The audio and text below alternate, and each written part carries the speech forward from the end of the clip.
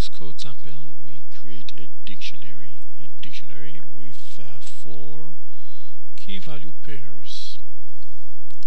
Calling the try get value, passing over a key, a possible key, we shall get a returned value true if that key exists in the dictionary on which we call the try method. If the key doesn't exist, the return value is false.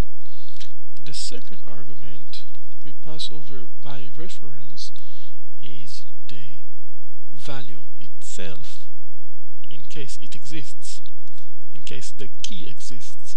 So here in this code sample, if the return value is true, we should get the value belongs to the key we pass over printed to the screen. Let's execute the code.